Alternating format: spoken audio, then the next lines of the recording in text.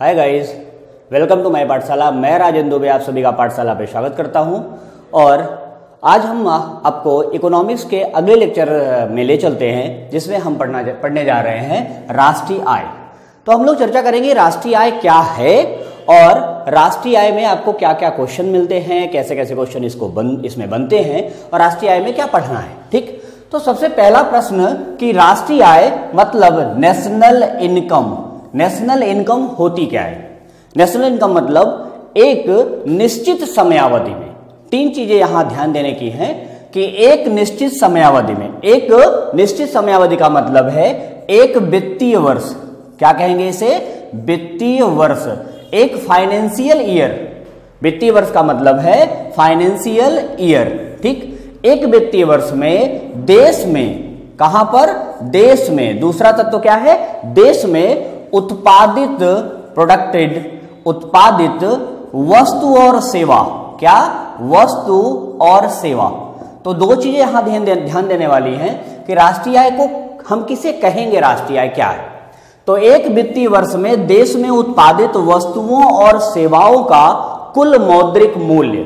क्या है राष्ट्रीय आय? राष्ट्रीय आय का मतलब होता है कि एक वित्तीय वर्ष में देश में उत्पादित वस्तुओं और सेवाओं, देश में एक फाइनेंशियल ईयर में जो प्रोडक्ट हो रहा है सर्विस का और वस्तुओं का, इनका जो है मौद्रिक मूल्य। मौद्रिक मूल्य का मतलब है मॉनिटरी प्राइस तो मौद्रिक मूल्य अगर इनको जोड़ लिया जाए तो आपकी क्या निकल जाएगी? राष्ट्रीय आय। लेकिन यहाँ दो चीज़ें ध्यान रखी जाती है। कि किसी भी चीज़ की दोहरी गणना दोहरी गणना नहीं की जाती। क्या नहीं की जाती? दोहरी गणना मतलब डुअल काउंटिंग तो नेशनल इनकम वो फैक्टर है जिसमें एक फाइनेंशियल ईयर में देश में उत्पादित सर्विस और वस्तुओं के टोटल मौद्रिक मूल्य की दोहरी गणना जिसकी न की गई हो, इसे ही राष्ट्रीय आय कहेंगे। तो दो चीज़ें यहाँ आपको समझ में नहीं आई होंगी। एक तो मौद्रिक मूल्य और दूसरी दोहरी गणना। तो इन दो चीज़ों पे को फोकस करने के लिए अगर हम लोग एक एग्ज़ाम्पल उठाएँ तो शायद ये बेहतर तरीके से समझा जा सकता है। ठीक? तो एक एग्ज़ाम्पल देखते हैं कि राष्ट्रीय आय में दोहरी गणना क्या है और कैसे इसे रोका जाता है, क्या तरीका है इसका। ठीक? तो मान लीजिए किसान है, कोई किसान जो गेहूँ का उत्पादन करता है। किसान अगर एक गेहूँ का उत्पादन करता है तो गेहूँ का उत्पादन वो बेचेगा भी। उसने मान लीजिए दस रुपए का गेहूँ बेचा और दस रुपए का गेहूँ उसने चक्की वाले को बेचा जो आटा बनाता है। ठीक? चक्की वाले ने दस रुपए का गेहूँ अगर खरीदा तो ये आठ रुपए का आटा तो बेचेगा नहीं। ये आटा बेचेगा पंद्रह रुपए, बारह रुपए, चौदह रुपए। तो सपोज़ दैट इसने पंद्रह रुपए का आटा बेचा और इस आटे को एक दूसरे उद्योग वाले ने खरीदा। आटे को बेकरी उद्योग वाले ने खरीदा और बेकरी में इसने इस आटे से क्या बनाया? ब्रेड। और इसे दस दस रुपए के चार पैकेट ब्रेड बनाए और चालीस रुपए में बेच दिया। ठीक? तो यहाँ पर एक किसान जो गेहूँ उत्पादन कर रहा है, उसकी तीन बार बिक्री हुई। गेहूँ यहाँ भी बिका, यहाँ भी बिका और यहाँ भी बिका। तो यहाँ ध्यान देने वाली बात है, जब सरकार किसी आय का आकलन करती है, भारत में राष्ट्रीय आय का आकलन सीएसओ द्वारा किया जाता है सेंट्रल स्टेटिस्टिकल ऑर्गेनाइजेशन द्वारा। तो भारत में जब सरकार ऑडिट करेगी तो किसान का कुल उत्पादन दस रुपया, चक्की वाले का उत्पादन पंद्रह रुपया, इसका उत्पादन चालीस रुपया।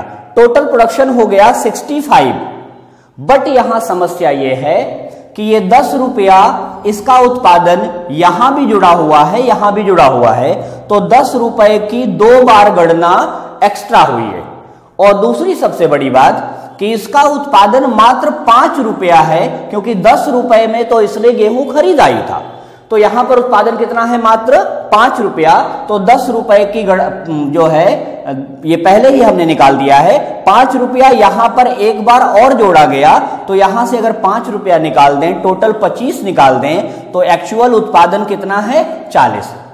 तो इसका अंतिम मौद्रिक मूल्य कितना हुआ? चालीस। तो दस रुपए किसान का गेहूँ कहाँ पर बिका? कितने में? चालीस में बिका। क्लियर हुआ ये तथ्य? एक बार मैं और इसे रिपीट करता हूँ कि किसान है जो दस रुपए का गेहूँ उत्पादन करता है और उसे बेचता है चक्की वाले को। चक्की वाला इसका आटा बना के पंद्रह रुपए में बेचता है। तो चक्की वाले का उत्पादन है पाँच रुपया, क्योंकि दस रुपए तो उसकी लागत है पहले से। और इसने इसे जब ब्रेड वाले या बेकरी वाले को बेचा तो बेकरी वाले ने चालीस रुपए का ब्रेड बना के बेचा, जिसमें पंद्रह रुपए का उसने खरीदा था, पच्चीस रुपया उसकी टोटल जो है उत्पादन है। तो दस रुपया इसका उत्पादन पाँच रुपया इसका उत्पादन और पच्चीस रुपया इसका उत्पादन। कुल उत्पादन हुआ देश में चालीस रुपया। लेकिन अगर सबका उत्पादन एक साथ जोड़ा जाए तो उत्पादन कितना आता है? पैंसठ। तो इस अगर दोहरी गणना रोकी नहीं जाएगी तो यह उत्पादन राष्ट्रीय आय ज़्यादा जो है नज़र आएगा। तो राष्ट्रीय आय की गणना के लिए इस दोहरी गणना को रोक दिया जाता है। तो भारत में एक वित्तीय वर्ष में वस्तुओं और सेवाओं का जो कुल उत्पादन होता है वही कहलाता है आपका राष्ट्रीय आय, और राष्ट्रीय आय की गणना करने में दोहरी गणना को रोक दिया जाता है, दोहरी गणना नहीं की जाती, ओके? तो देखते हैं कि अगर भारत में राष्ट्रीय आय की गणना कब से शुरू हुई, किसने सबसे पहले की, और कैसे कैसे हमने राष्ट्रीय आय की गणना करनी शुरू की? तो इसके लिए हम भारत के इतिहास की तरफ़ थोड़ा सा चलते हैं। तो राष्ट्रीय आय, जिसे आप नेशनल इनकम कहते हैं, इसकी सबसे पहले गणना अठारह ईस्वी में दादा भाई नरोजी। किसने? दादा भाई नरोजी ने किया। किसने किया?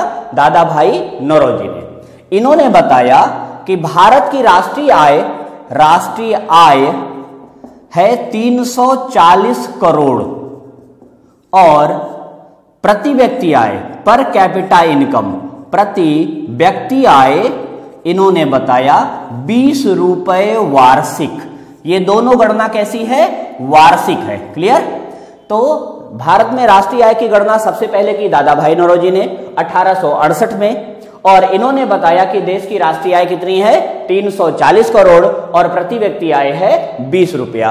ये सारे मुद्दे इन्होंने अपनी पुस्तक poverty and un British rule and un British rule in India में बताया।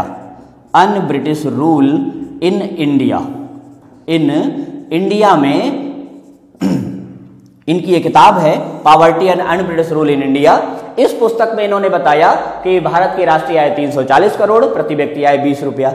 लेकिन एक समस्या थी। समस्या ये थी कि दादा भाई नरोजी कोई अर्थशास्त्री नहीं थे।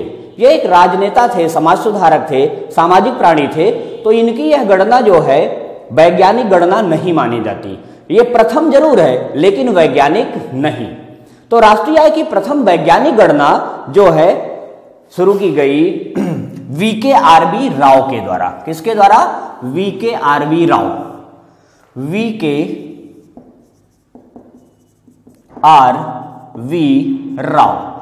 V K R B Rao ने भारतीय अर्थव्यवस्था का अध्ययन किया। 1926 से लेके 1930 तक इन्होंने भारतीय अर्थव्यवस्था का अध्ययन किया और निष्कर्ष निकाला कि भारत की राष्ट्रीय आय है भारत की राष्ट्रीय आय जो है, छिहत्तर रुपए प्रति व्यक्ति आय से मल्टीप्लाई करने से निकलेगी। मतलब प्रति व्यक्ति आय इन्होंने बताया पर कैपिटा इनकम 76 रुपए और इन्होंने बीके आरबी राव साहब ने भी एक किताब लिखी, जिसे आप कहते हैं national income in British India national income in British India ठीक? इस पुस्तक में इन्होंने बताया कि भारत की प्रति व्यक्ति आय है छिहत्तर रुपए, और अगर इसे भारत की जनसंख्या से गुणा कर दिया जाए तो भारत की राष्ट्रीय आय निकल जाएगी। वीके आर बी राव एक वैज्ञानिक थे, एक आर्थिक वैज्ञानिक थे अर्थशास्त्री थे, और इन्होंने जो है पहली वैज्ञानिक गणना की। तो दो प्रश्न यहाँ से बनते हैं। एक, भारत में राष्ट्रीय आय की गणना सबसे पहले कब की गई? तो राष्ट्रीय आय की गणना सबसे पहले अठारह में की गई। किसने किया? नरोजी साहब ने किया। और पहली वैज्ञानिक गणना अगर पूछता है प्रश्न, पहली वैज्ञानिक गणना किसने की? तो पहली वैज्ञानिक गणना वीके आरबी राव ने की। और वीके आरबी राव ने जो पुस्तक लिखी उसका नाम है national income in British India. और इसमें इन्होंने जो है पहली वैज्ञानिक गणना का फार्मूला प्रस्तुत किया। इन्होंने दो प्रणालियाँ अपनाई। राष्ट्रीय आय का आकलन करने के लिए इन्होंने दो सिस्टम अपनाए। एक पहला सिस्टम इन्होंने बताया, उत्पादन लागत प्रणाली। उत्पादन लागत प्रणाली। एक मतलब प्रोडक्शन कास्ट सिस्टम और दूसरा आय निर्गत प्रणाली। आय निर्गत प्रणाली। आय निर्गत प्रणाली। ठीक दो तरीके इन्होंने अपनाए। एक इन्होंने अपनाया उत्पादन लागत प्रणाली और दूसरा अपनाया आय निर्गत प्रणाली। मतलब किसी वस्तु के उत्पादन में क्या कास्ट आ रही है और दूसरी कि किसी आय होने, किसी उत्पादन में क्या इनकम हो रही है। तो आय में, उत्पादन में जो कास्ट आ रही है और इनकम कितनी हो रही है, इस आधार पर इन्होंने राष्ट्रीय आय का आकलन किया और जिस पुस्तक में यह फार्मूला इन्होंने बताया भारत में आज भी इसी फार्मूले के आधार पर राष्ट्रीय आय की गणना की जाती है, ओके? तो यह रहा भारत में राष्ट्रीय आय का इतिहास। लेकिन जब भारत स्वतंत्र हुआ तो उस समय भारत में राष्ट्रीय आय की गणना करने के लिए एक कमेटी बनाई गई, जिसका नाम है एनआईसी नेशनल इनकम कमेटी कौन सी कमेटी थी वो? एनआईसी पहले आप इसे नोट कर ले, फिर मैं आगे बढ़ता हूँ। एनआईसी के बारे में आपको बताता हूँ, या इसका स्क्रीनशॉट ले ले। तो एनआईसी का गठन किया गया स्वतंत्रता के बाद। ठीक? एनआईसी, नेशनल इनकम कमेटी, जिसे राष्ट्रीय आय समिति कहा जाता है। एनआईसी का गठन हुआ 1947 में, स्वतंत्रता के बाद। और इस कमेटी में चेयरमैन बनाए गए पीसी महाल नोविस कौन था अध्यक्ष इसका? PC Mahal novice PC Mahal novice इसके अध्यक्ष बनाए गए। और इसके दो जो है सदस्य बनाए गए। ये महोदय इसके अध्यक्ष थे। क्लियर और इसके साथ साथ इसके सदस्य दो बनाए गए। सदस्य इसके दो थे। एक हैं V K R B Rao V K R B Rao महोदय। और दूसरे सदस्य इसके बनाए गए डी आर गाडगिल कौन? डी आर गाडगिल महोदय इसके सदस्य बनाए गए। तो पीसी महाल नोविस की अध्यक्षता में नेशनल इनकम कमेटी का गठन किया गया और इसके दो सदस्य भी थे we K R B Rao और डी आर गाडगिल ठीक? इन लोगों ने मिलकर के भारतीय अर्थव्यवस्था का तीन वर्षों तक अध्ययन किया। कितने वर्षों तक? तीन वर्षों तक। 1948 से उनचास 1948 टू 1949 1949 टू 1950 1950 टू 1951 तीन वर्षों तक भारतीय अर्थव्यवस्था का अध्ययन किया और अध्ययन के बाद इन लोगों ने भारत की राष्ट्रीय आय डिसाइड की उन्नीस सौ इक्यावन में 8,650 करोड़ रुपए। ठीक? तो एनआईसी जिसे आप नेशनल इनकम कमेटी कहते हैं इसने तीन वर्षों तक भारतीय अर्थव्यवस्था का अध्ययन किया अड़तालीस उनचास उनचास पचास और पचास इक्यावन और इसके बाद इन्होंने 8,650 करोड़ रुपए भारत की वार्षिक राष्ट्रीय आय बताई क्योंकि राष्ट्रीय आय के आंकड़े सदैव वार्षिक होते हैं क्योंकि एक वित्तीय वर्ष में इनकी गणना की जाती है। तो इसके साथ साथ इन्होंने प्रति व्यक्ति आय पीआई पर कैपिटा इनकम भी बताया ये थी एनआई नेशनल इनकम और पर कैपिटा इनकम बताया two forty six rupees and ninety paise दो सौ छियालीस रुपए, नब्बे पैसे. ठीक? दो सौ छियालीस रुपए, नब्बे पैसे इन्होंने बताया, भारत की राष्ट्रीय आय कब? उन्नीस सौ इक्यावन में. ओके? इसके बाद राष्ट्रीय आय की गणना करने की ज़िम्मेदारी सीएसओ को दी गई. किसको? सीएसओ केंद्रीय सांख्यिकी संगठन सीएसओ भारत का एक केंद्रीय संगठन है। इसका काम है प्रतिवर्ष भारत में राष्ट्रीय आय का आकलन करना और यह भारतीय अर्थव्यवस्था का अध्ययन करता है। तो पहले आप इसे नोट कर लें फिर एक बार रिपीट कर देता हूँ। एनआईसी का गठन किया गया 1947 में। इसके अध्यक्ष बनाए गए पीसी महालनोविस और दो सदस्य इसके we K R B Rao और डी आर गाडगिल बनाए गए। और इन्होंने तीन वर्ष तक भारतीय अर्थव्यवस्था का अध्ययन किया अड़तालीस उनचास उनचास पचास पचास इक्यावन और 8,650 करोड़ इन्होंने राष्ट्रीय आय बताया और प्रति व्यक्ति आय बताया दो सौ छियालीस रुपए नब्बे पैसे। ओके? तो इस इन्हीं के सिफारिश पर आपके यहाँ सीएसओ की स्थापना की गई। तो थोड़ी सी चर्चा सीएसओ की और सीएसओ के कार्य प्रणालियों की भी हम यहाँ कर लेते हैं। फिर हम राष्ट्रीय आय की अवधारणाओं पर चर्चा करेंगे।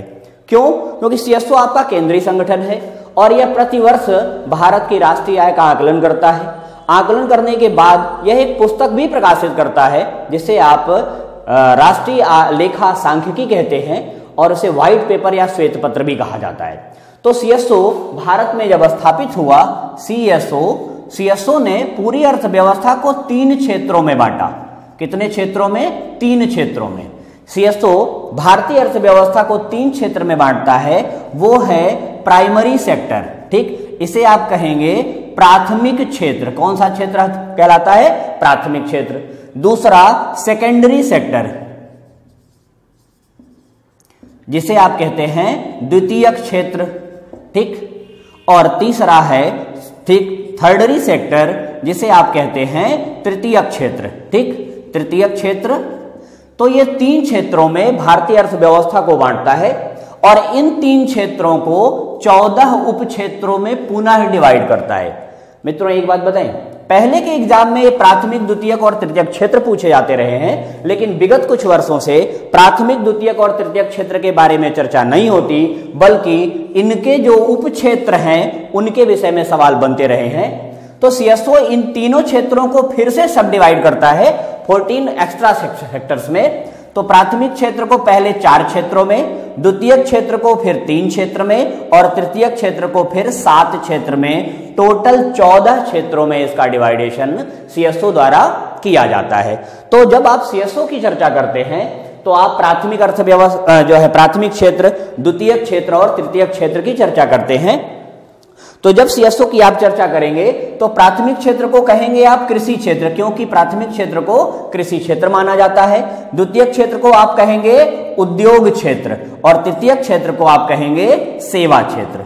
तो सीएसओ पूरी अर्थव्यवस्था को इन्हीं तीन क्षेत्रों में बांट करके पढ़ता है, और इनका प्रोडक्शन निकालता है, इसका अध्ययन करता है कि किस क्षेत्र से कितनी इनकम हुई, और उस इनकम को कैलकुलेट करके वार्षिक आंकड़ा जारी करता है। तो जो प्रश्न बनते हैं कि कोयला किस क्षेत्र का विषय है? प्राथमिक क्षेत्र का या द्वितीय क्षेत्र का?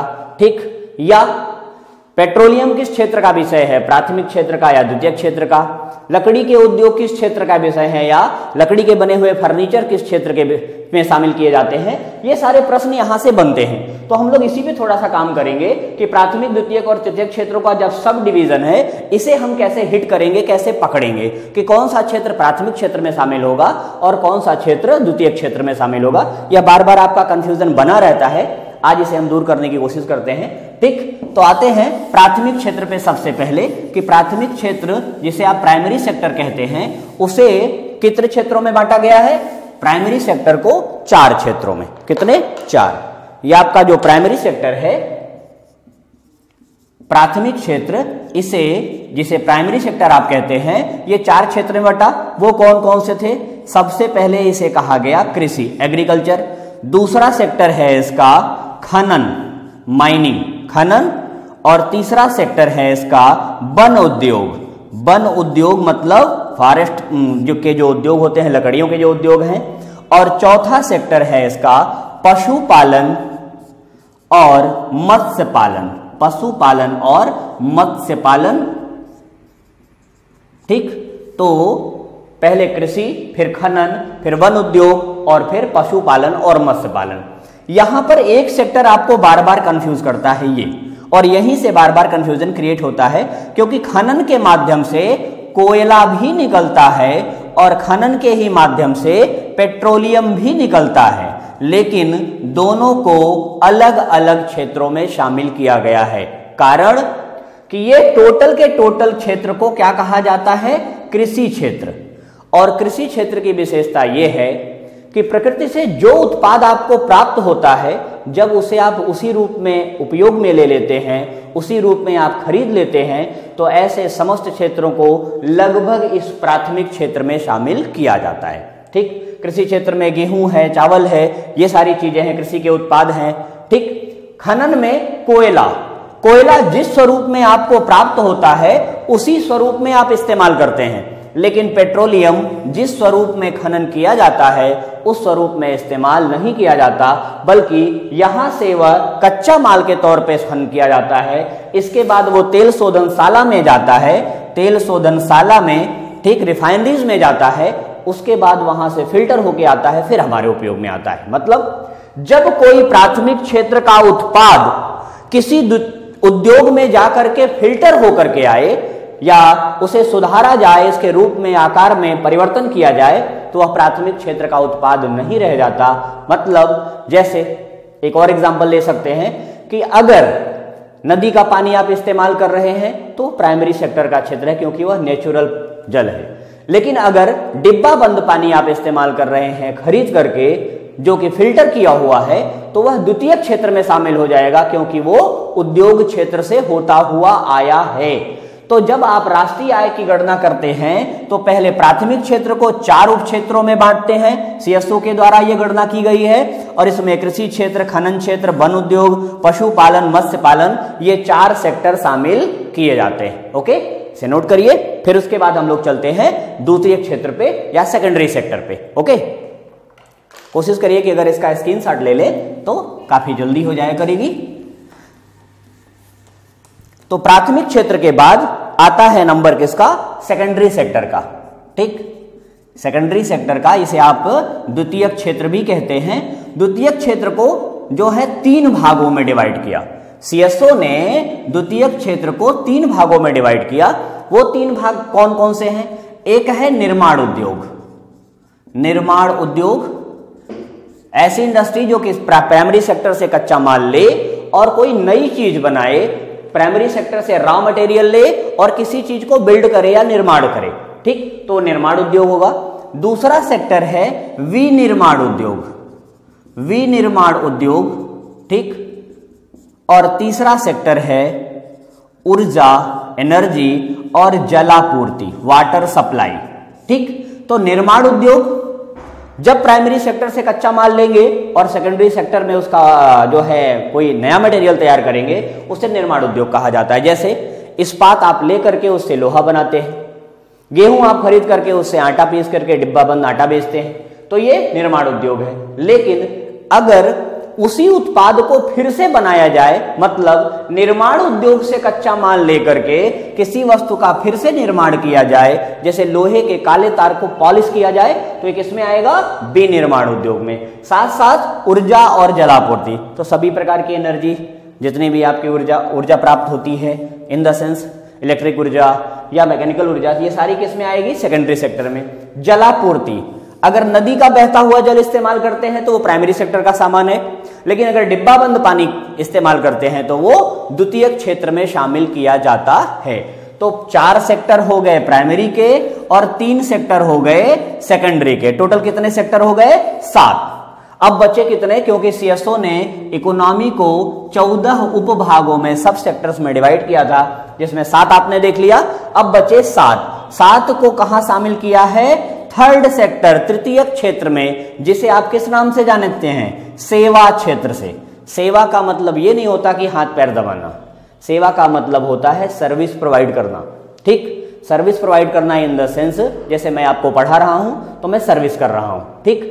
आपके परिवार में कोई ना कोई कहीं नौकरी करता होगा तो वो सर्विस प्रोवाइड कर रहा है। ठीक? अब वो सेवा दे रहा है। बस का चालक सेवा देता है। ट्रेन का चालक सेवा दे रहा है। तो ये सारी चीज़ें किसमें आएँगी? सर्विस सेक्टर में। इसे सात क्षेत्रों में डिवाइड किया गया है। ठीक? कौन कौन से सात क्षेत्र हैं? इस पे हम लोग चर्चा कर लेते हैं। ये सात सेक्टर हैं। सबसे पहले आता है बैंक बीमा और संचार। तो बैंक आपके लिए क्या उपलब्ध कराती है? आपके पैसे लेती है, जमा करती है और आपको कहीं और ज़रूरत होती है तो उस पैसे को यहाँ जमा करके वहाँ उपलब्ध कराती है। तो क्या दे रही है? सेवा।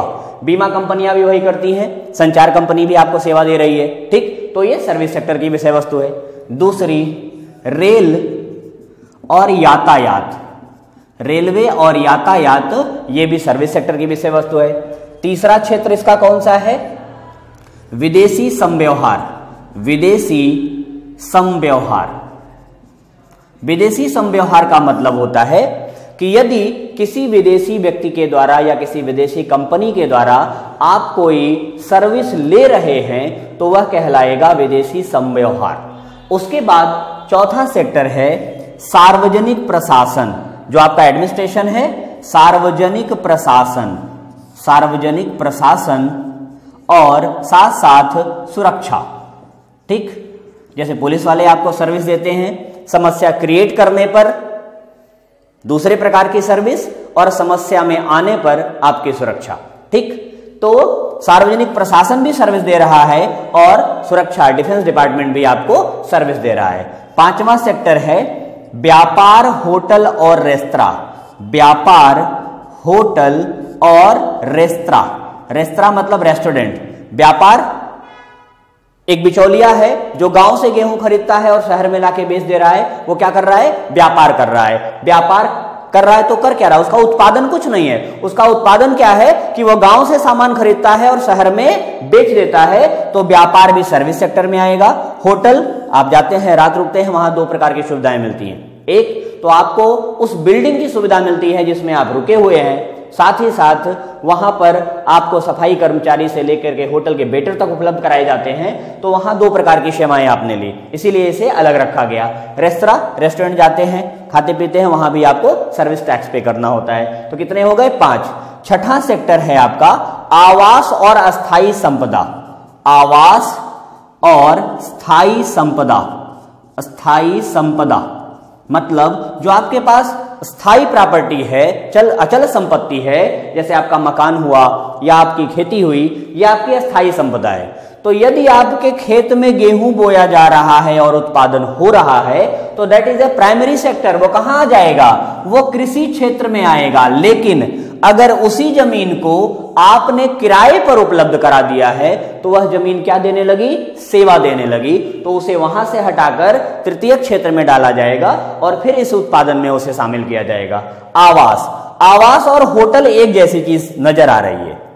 लेकिन यहाँ थोड़ा सा माइनर डिफरेंस है। अगर आप अंतर करना चाहें तो कर लेते हैं। यदि आप किसी होटल में गए तो होटल के कमरे में झाड़ू नहीं लगाते। रेयर एंड रेयरेस्ट आप झाड़ू लगाते हैं। ठीक? लेकिन अगर कहीं किराए पर कमरा लेके रहते हैं तो उस कमरे की साफ़ सफ़ाई से लेके सारी व्यवस्था देखना आपकी ज़िम्मेदारी।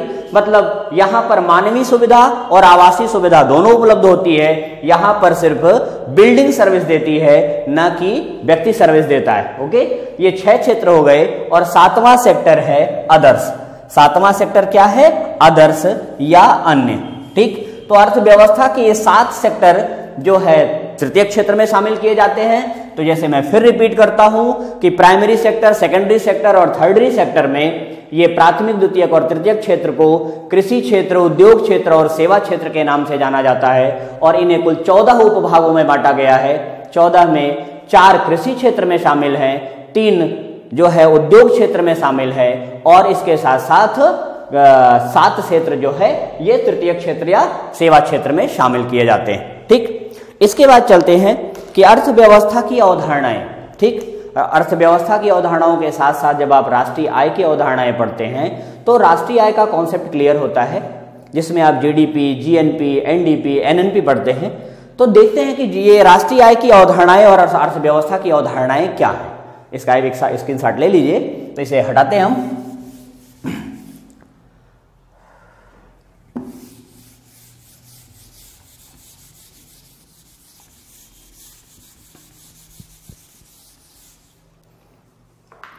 अर्थव्यव, राष्ट्रीय आय की अवधारणाएँ।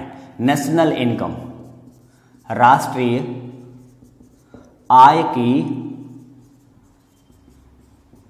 अवधारणाएँ। कॉन्सेप्ट ऑफ़ नेशनल इनकम इसे आप कहेंगे कि राष्ट्रीय आय की क्या क्या कॉन्सेप्ट हैं। देखिए, जितने अर्थशास्त्री, उतने कॉन्सेप्ट लेकिन जब उन्हें समराइज किया जाता है तो नेशनल इनकम को ज्ञात करने के चार कॉन्सेप्ट सबसे प्योर निकल के आते हैं। इन्हें आप कहते हैं जीडीपी दूसरा कॉन्सेप्ट है एनडीपी और दो, दो और कॉन्सेप्ट इसके हैं जीएनपी और एनएनपी ठीक GDP gross domestic product G NDP national domestic net domestic product GNP gross national product और एनएनपी नेट नेशनल प्रोडक्ट। ये चार अवधारणाएँ महत्वपूर्ण है और यही मुख्य है राष्ट्रीय आय को मापने के लिए। राष्ट्रीय आय का सबसे उत्तम मापन होता है एनएनपी पे सबसे बेहतर राष्ट्रीय आय, सबसे प्योर राष्ट्रीय आय यही मानी जाती है। तो इनको एक एक करके हम पढ़ेंगे और इनका डिफरेंस देखेंगे कि इनमें क्या अंतर है, क्या डिफरेंसेस हैं इन दोनों में ओके तो सबसे पहले चलते हैं जीडीपी पर। जीडीपी को कहते हैं gross domestic product. Gross domestic product. ठीक? सकल घरेलू उत्पाद। इसे क्या कहेंगे हिंदी में? सकल घरेलू उत्पाद। ठीक? तो सकल घरेलू उत्पाद की जहाँ तक बात है, सकल का मतलब होता है ग्रॉस, इंग्लिश में से कहेंगे, सकल का मतलब है पूरा। घरेलू का मतलब है जो घर में उत्पादन हुआ हो, उत्पाद का मतलब आप समझ रहे हैं प्रोडक्शन तो एक बात हम सिंपल सी यहाँ करते हैं कि आप अपने घर के किस सामान को घरेलू कहते हैं। प्रायः जो आपके घर में बनाया जाता है, घर में उसका उत्पादन होता है तो यह हम अपने देश के उत्पादन की बात कर रहे हैं। यहाँ हम किसकी अर्थव्यवस्था पढ़ रहे हैं? भारत की। तो भारत को अगर आप घर मान लें तो भारत की सीमा रेखा के अंदर जिन चीज़ों का उत्पादन हो रहा है, अगर उसका मॉनेटरी प्राइस या मौद्रिक वैल्यू निकाल ली जाए और उसे कैलकुलेट कर लिया जाए तो आप क्या प्राप्त करेंगे? जीडीपी अगर दो लाइन में इसे कहें तो एक निश्चित समयावधि में भारत की भौगोलिक सीमा के अंदर, क्या है? एक निश्चित समयावधि में भारत की भौगोलिक सीमा के अंदर उत्पादित वस्तुओं और सेवाओं का कुल मौद्रिक मूल्य क्या कहलाता है? सकल घरेलू उत्पाद। ठीक तो यहाँ दो तीन चीज़ें उभर करके आई। पहले जीडीपी में देख लेते हैं कि एक वित्तीय वर्ष, क्या है? एक वित्तीय वर्ष। एक वित्तीय वर्ष। एक फाइनेंशियल ईयर आपका कब से कब तक माना जाता है? एक अप्रैल से 31 मार्च तक, ठीक? एक अप्रैल से 31 मार्च तक आपका फाइनेंशियल ईयर है। तो एक वित्तीय वर्ष में किसी भी देश की अर्थव्यवस्था में उत्पादित वस्तु प्लस सेवा, इन दोनों का जो मौद्रिक मूल्य है, इन दोनों का मौद्रिक मूल्य एक वित्तीय वर्ष में वस्तु और सेवाओं का मौद्रिक मूल्य जिनका उत्पादन कहाँ हुआ हो? भौगोलिक सीमा के अंदर। कहा हुआ हो? भौगोलिक। भौगोलिक सीमा के अंदर। मतलब उस देश की सीमा रेखा के बॉर्डर के अंदर हुआ हो। तो यदि एक वित्तीय वर्ष में किसी देश की भौगोलिक सीमा के अंदर जो वस्तु और सेवा उत्पादन हुई है, उसका मौद्रिक मूल्य निकाल लिया जाए तो क्या मिलेगा आपको? सकल घरेलू उत्पाद मिलेगा। यह कहलाता है ग्रास डोमेस्टिक प्रोडक्ट क्लियर एकदम इसी से मिलता जुलता दूसरा कॉन्सेप्ट आपको मिलेगा एनडीपी एनडीपी मतलब नेट डोमेस्टिक प्रोडक्ट प्रायः आप लोग डिब्बा बंद सामान खरीदते होंगे, उस पर लिखा रहता है नेट वेट नेट वेट का मतलब होता है शुद्ध वज़न. तो यहाँ भी नेट का मतलब है शुद्ध. लेकिन यहाँ एन का मतलब है नेट और नेट को कहते हैं शुद्ध, लेकिन अर्थशास्त्र की भाषा में इसे कहा जाता है निवल। अंग्रेज़ी में नेट को इकोनॉमी की भाषा में क्या कहेंगे? निवल। निवल का मतलब होता है प्योर प्योर प्रोडक्शन तो यदि किसी वस्तु के जो ये उत्पादन हुआ, चाहे वस्तु का उत्पादन हुआ, चाहे सेवा का उत्पादन हुआ, जब भी किसी वस्तु का उत्पादन होता है तो उसमें घिसावट होती है। ठीक, उसमें घिसावट मतलब डेप्रिसिएशन आता है और अगर कुल उत्पादन में से डेप्रिसिएशन निकाल दें मतलब जीडीपी जीडीपी में से अगर डेफ्रिशिएशन निकाल दें तो जो उत्पादन बचेगा, वो क्या कहलाएगा? वो कहलाएगा एनडीपी क्या कहलाएगा? एनडीपी ठीक तो एनडीपी निकालने के लिए एक फार्मूला भी इस्तेमाल किया जा सकता है कि NDP equal to NDP equal to NDP equal to GDP minus ह्रास या घिसावट या डेफ्रीसिएशन क्या कहेंगे आप इसे? ह्रास, घिसावट या इसी को कहा जाता है डेफ्रीसिएशन ठीक? तो एनडीपी निकालने के लिए शुद्ध आय निकालने के लिए क्या आप करेंगे? जीडीपी में से ह्रास या घिसावट को निकाल देंगे।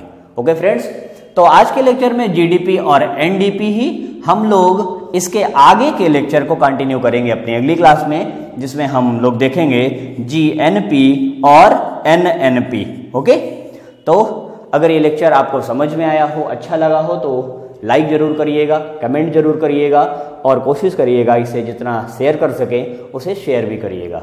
Okay friends thank you